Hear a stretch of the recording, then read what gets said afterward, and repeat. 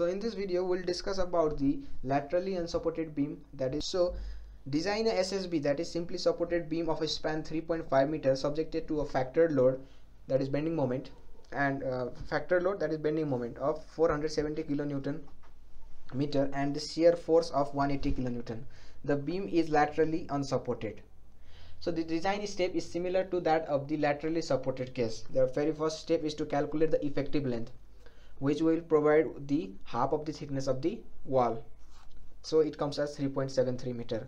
The second step is to find the total load acting on the uh, member. But in our case the question has given us the mmax and vmax directly. So we don't have to calculate that total load. In the previous video if you see the step was to calculate the total load and with the total load we have to calculate the mmax for which we had the formula. Mmax is equal to wl square by 8 okay? And for vmax we had the formula as p by 2 plus wl by 2 but in our case point load is 0 so wl by 2 we took into consideration. So the th second step is to calculate the total and total load and the third step was to calculate the bending moment maximum bending moment and maximum shear force. But in our case the question has already given. Now the third step is to determine the section modulus. Section modulus can be determined by the formula zp is equal to md. This is the maximum bending moment multiplied by gamma m naught. This is partial factor of safety divided by fy which is the yield stress and for this case you take fe 410 so y will be fy will be 250 then you will get the value zp required now in the steel table provide a, a section with the zp or section modulus greater than this value. So in the table so go to table 46 and search for the zp value greater than this. So we have 2068 and i have already said we will provide mb section for our simplicity. So ZP 2068 so the value should be greater than 2068 so I provide ISMB 60 with ZP as 3500 10.63 centimeter cube okay? So ZP providing and ISMB 600 now list out the table okay? That is D dimen uh, dimension that is depth of section width of the flange radius uh, TF that is the thickness of flange TW thickness of the web. We will collect section modulus plastic modulus ixx iyy now the fourth step or we can say fifth step if we combine 2 and 3 the next step is the section section classification okay? In section classification you will introduce two ratios that is b by tf and d by tw b is the outstand flange width okay? So if this is the flange portion okay? And this total is b f that is width of the flange. Now half of width of flange is the outstand width that is b. Then we'll calculate the this is the depth of the web. So h is the total depth of the section divide uh, subtracting twice of the flange width tf okay?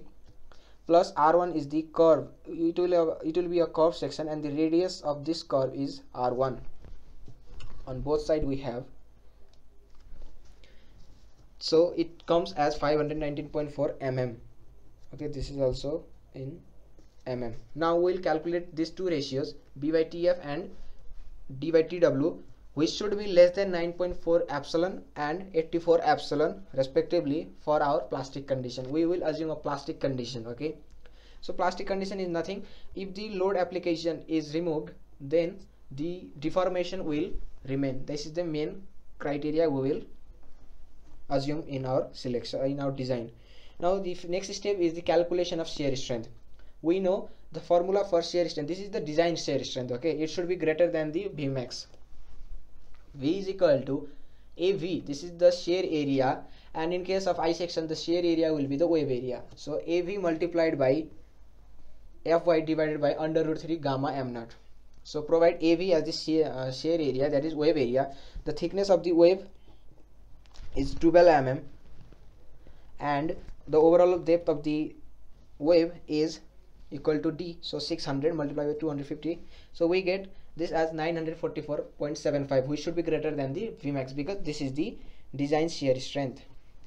Now the next step is to calculate design bending moment capacity or design bending strength for this you have to look page number 54 you have the formula for design bending strength that is md is equal to beta b zp fbd now all these factors has to be calculated. Beta b will be one for plastic section so it will it is easier for us to take one so we consider a plastic section. Similarly zp is the section modulus plastic modulus okay and uh, fbd is the design bending compressive strength stress which is uh, obtained by this equation. Fbd is equal to chi lt fy by gamma m naught.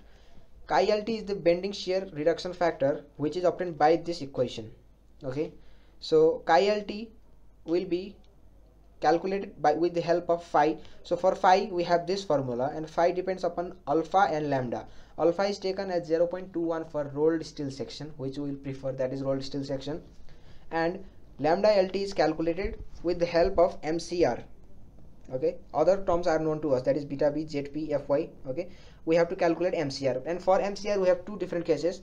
One is the cases for simply supported beam which we have a simply supported beam. And this equation is applicable for the weld section okay now you can see e, uh, e is the modulus of elasticity okay iy is the moment of inertia about y axis which we have taken from the table. LLT this is the effective length okay for this I will discuss while doing this. LLT is the effective length. G is the modulus of rigidity. IW is the warping constant. And IT is the torsional constant. The equation for MCR the very first case you have to understand we have a symmetrical case okay? For symmetrical case moment of inertia about the compression in flange and about the tension in the flange will be equal. So going to page number 129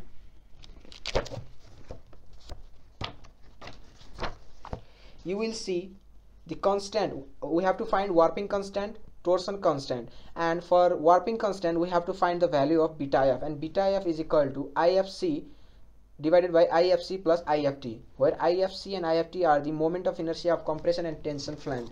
So the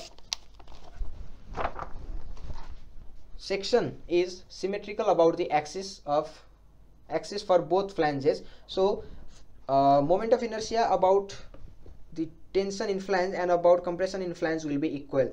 That gives us beta as equal so it will be 1 by 2 fc by fc giving 0.5 now we can calculate the value of iw in code also you can see beta f is equal to sorry iw is equal to 1 minus beta f beta f iy hy square.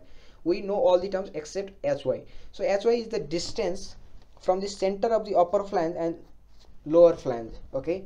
So it will be 600 minus 20.3 20.3 is the overall distance of the or thickness of the flange.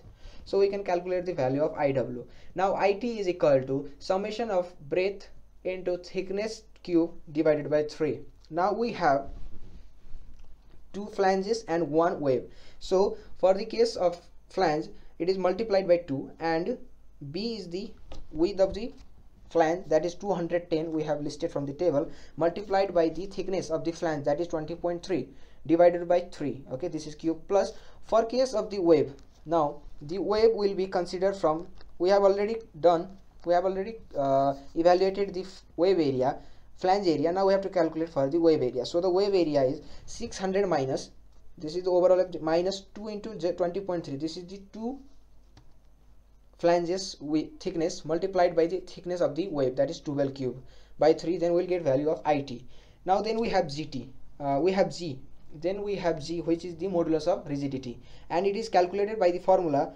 e divided by 2 i plus 0.3 okay here you can also see mu. Mu is equal to 0.3 then e is provided as 2 into 10 to the power 5 that is modulus of elasticity. And i is taken as 1 so we get the value for g as 276923.07 newton per mm square. Llt llt is the effective length. You can see so for effective length you have to look at table number 15 at page number 58 our both cases are torsional restraint and warping restraint okay? So fully restrained and both flanges fully restrained. So we'll take the loading condition as normal and it will be 0.7 L okay? So the value of K is 0.7 putting the value of 0 uh, K as 0.7 and effective length L is 3.73 then we get the value as 2.6 meter. Now substitute the value in MCR for every constant or every variable then you will get the value for MCR okay? Then go to page number 54 again. Now the finding is in the reverse order okay? You see if you if you see mcr we will find then we will find lambda lt for lambda lt we need mcr so we will find the lambda lt here. Okay? For lambda lt is equal to 0 0.603 so i have uh, done it here now.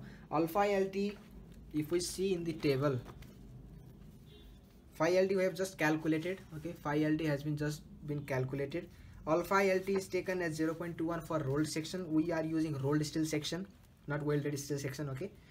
And uh, phi lt then can be calculated with the help of alpha lt 1.5 we can see here 1 plus alpha uh, 0.5 okay? Here you have to multiply with 0.5 then we'll get the value of phi lt then chi lt is dependent on the phi so 1 by phi lt substituting the value of phi we will get the value of chi lt which should be less than 1 then ffd the formula for ffd is chi lt fy by gamma m naught. I have just written the value directly over here. So you can just put it down here and make sure.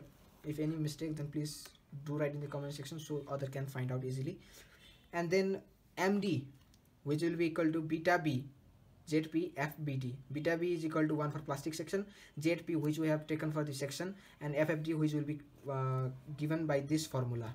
Okay, which will be given by this formula. So in this way we have find the design strength. Now the step will be the same for design uh, check. Okay, that is the check, deflection check, deflection check. Delta is equal to 5 by 384, uh, WL4 by 3 EI. Okay, EI X you have to understand that mx wl square by 8 that is maximum bending moment which we have calculated there. Now on factor w del max we can put the value here. Make sure the value of w okay in this question what we have been provided we have been provided with a directly the value of maximum bending moment. Now from that we can find the value of w. This w should be such that uh, unfactored okay. I'm trying to say that during calculation of deflection you will take the unfactored load and it should be the live load. But in this case it is not uh, suggested or it is not uh, written in the question that it is a, a, live load. So we consider it as a live load and it should be unfactored. So unfactored load 180 so 5 by 384 into 180.6 and then we'll get the delta max deflection max. And then for permissible we have span by 300 and how this can uh, come you can check in my previous video. And then for web buckling okay then for we come to web buckling this ratio should not be greater than 67 epsilon. Uh, this condition is satisfied so there is no web buckling check. And in step 11 you have to uh, do web crippling check. Web crippling check uh, is done on the basis of two two variables that is n1 and b. Here b1 is the stiffness bearing which is provided as uh, 100 and n1 is equal to 2.5 multiplied by tf plus r1 okay? Tw plus r1